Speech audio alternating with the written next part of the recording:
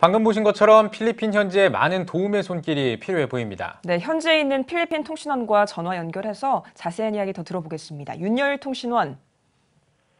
네, 안녕하세요. 네, 지난 12일에 딸 화산이 폭발한 이후에 다시 한번 폭발할 수도 있다는 우려의 목소리가 나오고 있습니다. 현재 상황이 어떻습니까?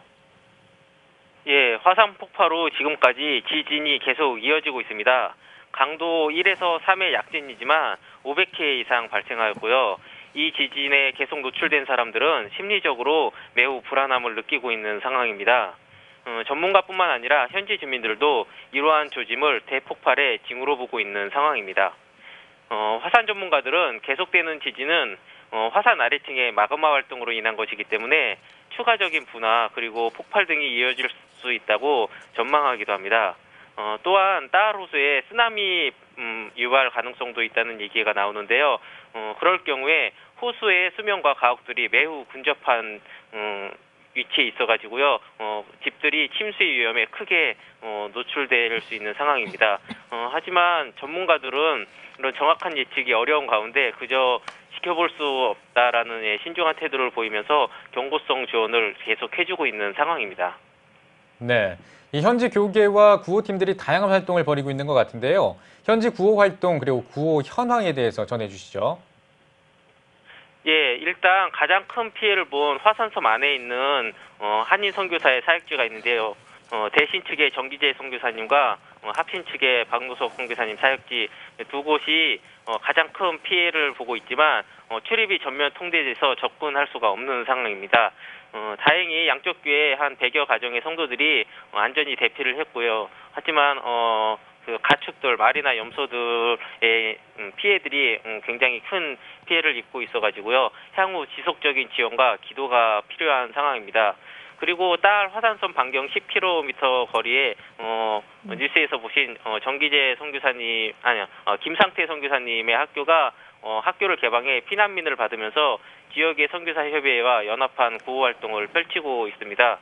예, 그 외에도 화산 분출로 따가이따이 주변 도시 대부분이 어, 이렇게 화산재로 피해가 있는데요. 이곳에서 많은 한인 선교사님들이 현지인들을 위한 사역을 이미 펼치고 있습니다.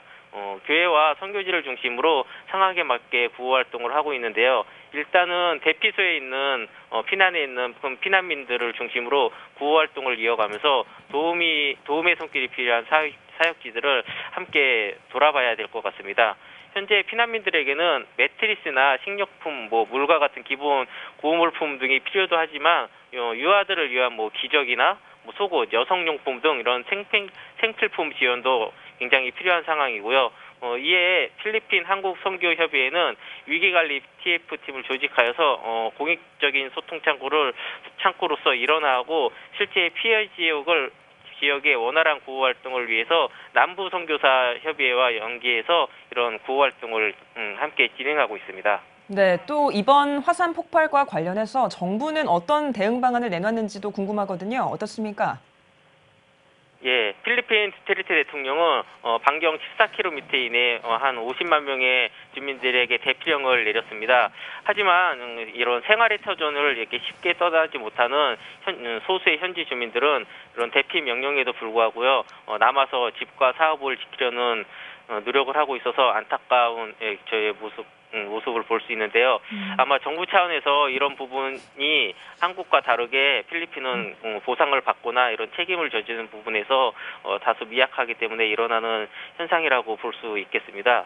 또한 어, 화산재 이게 화산재로 인해서 호흡기 질환자가 이렇게 속출할 수 있는 문제도 있는데요. 음. 이 부분도 일단 방진 마스크 등의 지원을 함으로써 해결할 수 있겠으나 이마저도 어, 정부 쪽에 필리핀 정부에 많은 기대를 하기는 힘든 상황입니다. 현재 피해 지역과 마닐라 도시나 뭐 인근에서는 마스크가 이미 동이 나서 구하기 어려운 상황이고요.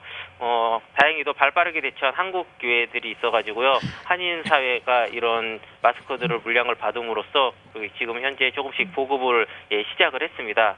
네, 한편 필리핀 구호단체나 뭐 지역사회, 지방정부 등의 활동은 활발하게 진행되고 있는데요. 이런 식료품과 구호품 지원들이 이루어지면서 한인 선교사회가 활동하는 지역에서 연합을 이뤄가면서 조금씩 구호 활동을 이어가고 있지만 아직은 모든 부분에서 많이 부족한 상황입니다. 네.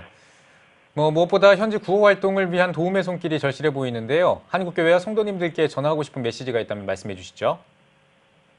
예, 그 우선은 큰 피해를 입은 교회나 선교지를 중심으로 도움이 필요한 곳에 지원들이 원활하게 이루어질 수 있도록 예, 부탁을 드리고요. 앞으로 이 재난이 안정될 때까지는 현지 소식에 계속 관심을 가져주시고 어, 지원과 아낌없는 기도를 예, 부탁드리겠습니다. 네. 잘 들었습니다. 이번 화산 폭발로 더 이상의 피해가 없도록 한국교회는 물론 전 세계가 함께 기도하고 도움의 손길을 보내야 할 것 같습니다. 윤여일 통신원 수고하셨습니다.